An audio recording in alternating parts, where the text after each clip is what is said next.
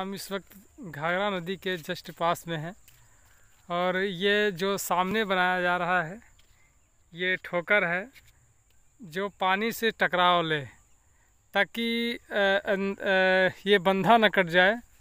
इसलिए इसको ठोकर बनाया गया ऐसे ठोकर बहुत सारे बनाए गए मैं जिस जहाँ पे खड़ा हूँ, ये भी एक ठोकर है। ये बहुत ही सुरक्षित तरह से बनाया जा रहा है। ये बड़े बड़े पत्थरों से इसको बनाया जा रहा है। आप देख सकते हैं। बहुत मजबूती के साथ इसको बनाया जा रहा है। एक सामने ठोकर है आप दम है। देख सकते हैं ये। और उसके बाद भी एक ठोकर है। ऐसे आपको बहुत सारे ठोकर मिल जाएँगे यहाँ पे। और ये इधर देख सकते हैं। अब पानी थोड़ा डाउन हुआ है, लेकिन घाघरा का बहाव वहीं काफ़ी तेज़ है। हम अभी आपको दिखाएँगे। एक छोटा सा इधर टुकड़ा है बहाव का। अभी आपको दिखा रहे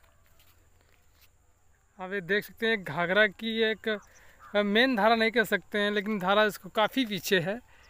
ये लेकिन उसका एक अभिन्न हिस्सा है और काफ़ी तेज़ी से पानी बह रहा है। ये आप देख सकते हैं, काफ़ी तेज़ी से पानी बह रहा है।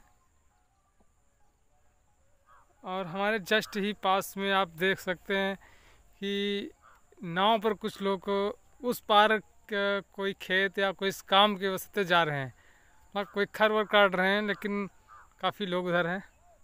अभी मैं आपको दिखा रहा हूँ, ये देखो ये लोग।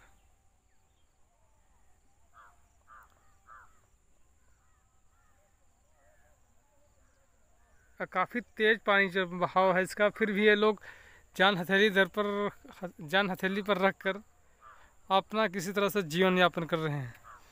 और ये घाघरा का ठोकर बनाया गया है, बहुत मजबूती के साथ आप देख सकते बनाया गया है, बहुत ही मजबूती के साथ। बनाया जा रहा है।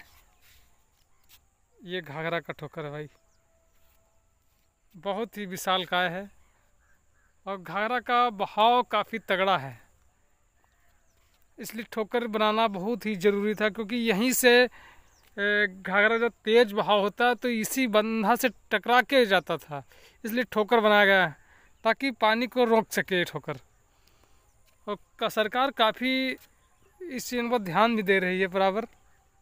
देख सकते हैं, सरकार काफ़ी ध्यान दे दे रही है।